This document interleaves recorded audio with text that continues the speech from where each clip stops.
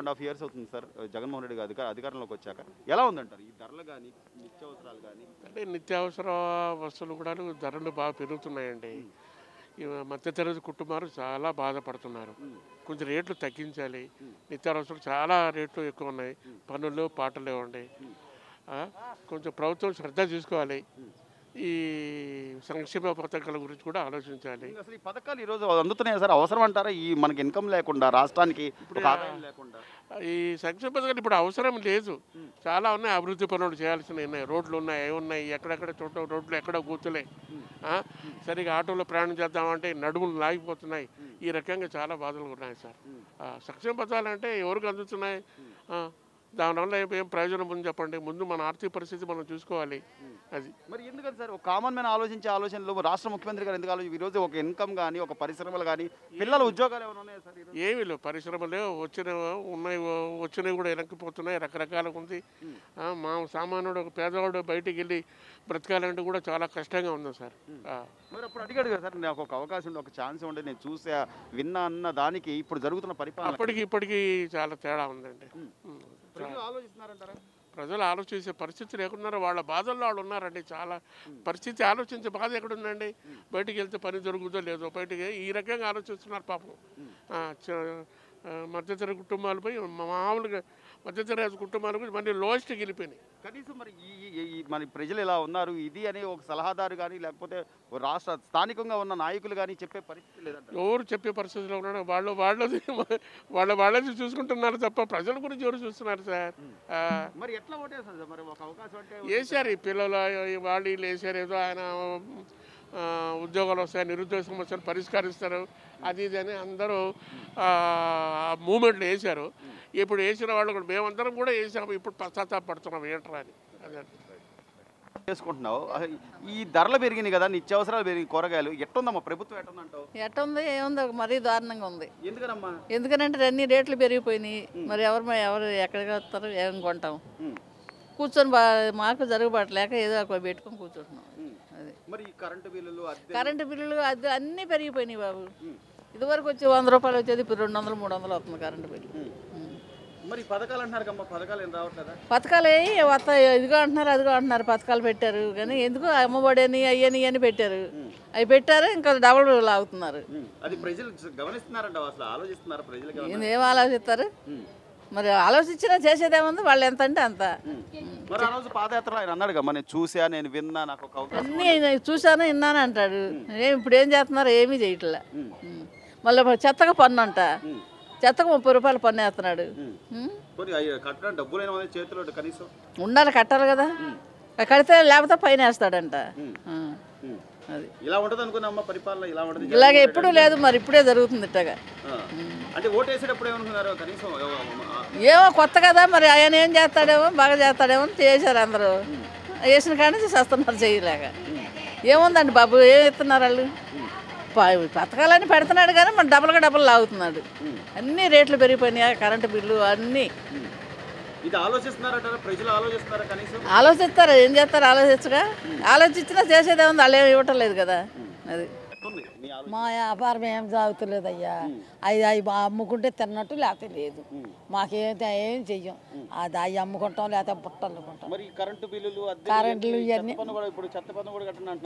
చెత్త పని కూడా కట్టబడుతున్నారు మరి మాకు ఇంటద్దు లేదు మాదే సొంతదే ఇంటద్దు లేదు కరెంటు బిల్లు తీసేశారు మా మేము లేని వాళ్ళం కదా మాకు తీసేశారు.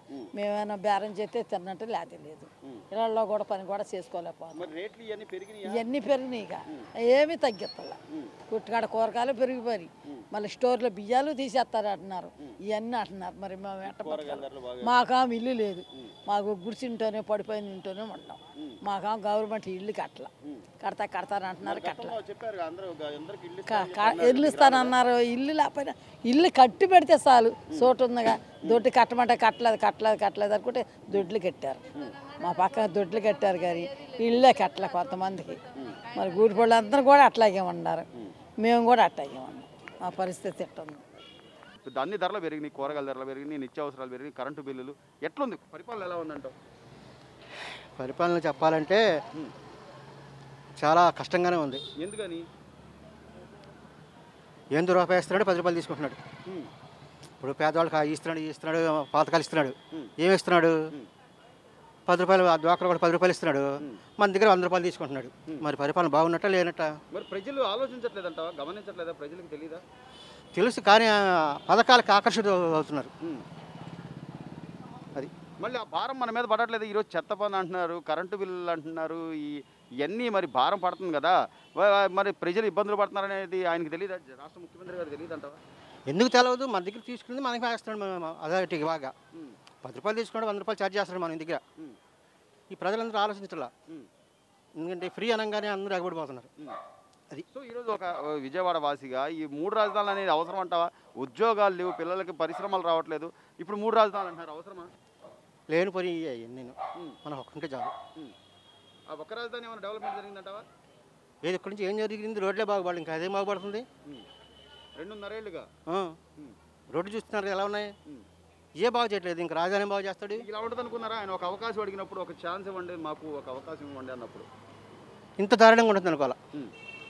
ఏమనుకున్నారు? అట్లా ఎట్లా ఏ అంటే కొత్త వ్యక్తి చూడండి కొంచెం కొన్ని మార్పులు వస్తాయిగా అనుకున్నాం.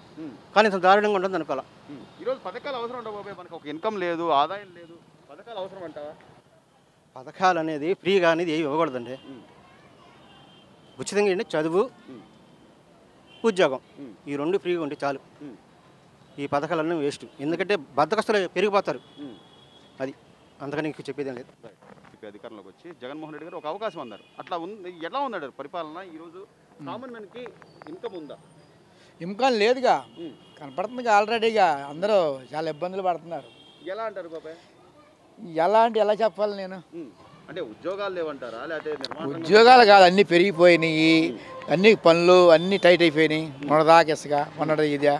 అన్నీ తెలిసిందే కదా మీకు కూడా. గతంలో పద్నాలుగు వందలు పదకొండు వందలు దొరికిన ఇసుక ఈ రోజు ఎందుకు అంటే ఒక సామాన్యుడు ఇల్లు కట్టుకునే పరిస్థితి ఉందంటారా? లేదు కాబట్టే చెప్తున్నాం మేము.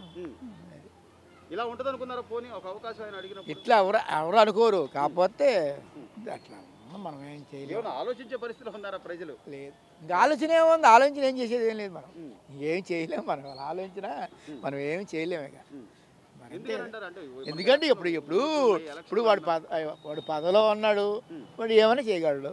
ఎవడైనా అంతే కదా పదవిలో ఉన్నందుకు వాడు ఏమైనా చేయగలడు. అంతేగాని మనం స్వేచ్ఛగా మనకు ఉంది ఉంది కానీ సో ఏది జనాలు ఎటు పడితే వేస్తున్నారు. మనం ఏం చేద్దాం? మనం ఏం చేయలేం కదా. జగన్మోహన్ రెడ్డి గారు అధికారంలోకి వచ్చి ఎలా ఉంది నీ అభిప్రాయం? జగన్ గారే జగన్ గారే ఇస్తున్నారు అన్ని ఎట్లా? అన్ని జగన్ గారే పింఛన్ పింఛన్ ఇస్తున్నారు మాకు ఇంకేం ఇవ్వాల. ఒక పెన్షన్ వస్తుంది. పోతుంది అంతే. ఇంకేమి రాలే మాకు. మరి కరెంటు బిల్లులు ఇవన్నీ పెరిగిపోయినాయి మరి చెత్త పన్ను కూడా కట్టమన్నారు ఇప్పుడు. ఇప్పుడు ఈ రోజు చెత్త పన్ను కట్టమన్నారు కరెంటు ముప్పై రూపాయలు కట్టమంటున్నారు చెత్త పన్ను. నెలకి. మరి చేతి పని చేసుకునే దానివి? దీనికి కూడా నెలకి ఎంత నూట యాభై ఎంత కట్టమంటున్నారు. మరి ఆధారం లేదు కానీ ఏ ఆధారం లేక ఏదో చిన్న పని చేసుకుంటున్నావు? దానికి కూడా కట్టమంటే? మరి కట్టమంటున్నారు. ఏం చేస్తాం మరి? లేకపోతే బతుకులేదు. మరి పోనీ ఆదాయం వస్తుందా? ఏం ఆదాయం వస్తుంది. ఏదో తప్పలేక బతకలేక సావలేక సత్తున్నాం. అది. మరి ఈరోజు కరెంటు బిల్లులు పెరిగిన ధరలు కూరగాయల ధరలు కూడా పెరిగిపోయినాయి. ఎట్లా మరి బతికేది ఎట్లా అన్నీ పెరిగిపోయినాయి మరి. ఏం చేస్తామండి. ఏం చేయగలం మరి ఏం చేస్తాం? ఉన్నాను విన్నాను అన్నా ఏం ఊకొట్టాం ఇంక చేసేది ఏముంది. చేసేది ఏమి లేదు ఎవరు తెలుసు. ఇలా జరుగుద్ది అనుకున్నావా? ఉమ్. జరగదు అనుకో. ఏమనుకున్నావు? పోనీ నువ్వు అసలు ఏమనుకున్నావు ఏమనుకుని చేస్తారు. ఏదో మనం ఏదో నిలబెడదాం అని చేశారు అందరూ. చేసాం మరి ఈరోజు పథకాలు పథకాలు అంటున్నాడు కదా పథకాలు రావట్లేదా? అందరికి రావట్లేదా? ఏం ఆ పథకాలు గితకాలు నాకేమి రాలేదండి. నాకు ఒక్క పెంచినే వస్తుంది. పెన్షన్ మాత్రమే. అంతే. ఇంకా ఇంకా ఈ- ఇల్లు ఇల్లు ఏమైనా వచ్చిందమ్మా? ఇల్లు రాలే. ఆ. అదేంటి ఇల్లు అందరికి ఇస్తున్నా అన్నాడుగా ఇల్లు కట్టి రాలేదు రాలేదు. ఒక్క రూపాయికి ఇల్లు ఇస్తామని చెప్పి అన్నారు కదా. ఏమి రాలేదు. డబ్బులు కట్టబట్టాడు కట్ట. ఉమ్. ఎక్కడి నుంచి తెస్తాం కట్టలేం? ఉమ్. వాలంటీర్ని అడిగారా మీరు? ఆ, అడిగాం. ఏమన్నాడు వాలంటీర్ అడిగితే డబ్బులు కట్టితే ఇస్తారట. డబ్బులు కట్ట డబ్బులు ఎందుకు? ఏం మరి? డబ్బులు ఎందుకని మీరు అడగలేదా డబ్బులు ఎందుకంటే అదేదో కట్టించిస్తారంట కదా. ఆ. అదానికి. మరి ఆయన జగన్మోహన్ రెడ్డి గారేమో నేను మీరు ఒక్క రూపాయి ఇవ్వద్దు నేను కట్టి ఇస్తాను అని ముందు చెప్పారు. తర్వాత మీరు ఇంత ఇంత ఇంతలో కట్టుకోమన్నారు. సరే ఇవన్నీ కాదమ్మా అసలు ఎట్లుంది? ఈరోజు ఆరోగ్యశ్రీ కానీ ఇవన్నీ అందుతున్నాయా? అవి ఏం అందలేదండి నాకు. ఒక్క పింఛని వస్తుంది ఇంకేమి రావట్లేదు.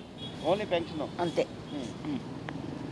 హాయ్ ఎవ్రీబడి నేనండి మీ anchor Vindhya. Please subscribe to Leo news YouTube channel the Leo News. Please subscribe. Please subscribe Leo News. Please subscribe Leo news thank you ఇలాంటి ఇంట్రెస్టింగ్ వీడియోస్ కోసం తప్పకుండా మా ఛానల్ని సబ్స్క్రైబ్ చేయండి